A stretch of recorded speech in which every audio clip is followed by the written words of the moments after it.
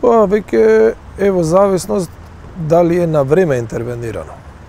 Ако е на време интервенирано, ако нема оштетување на срцето или на крвните садови, кој што е трајно, квалитетот на животот може да биде и подобрен.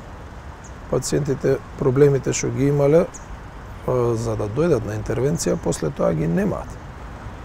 Се враќаат брзо во редовен нормален живот Е, сега во случај ако има предходно оштетување кое што е трајно, тоа може да влие врз квалитетот на животот во зависност колка е степенот на оштетување.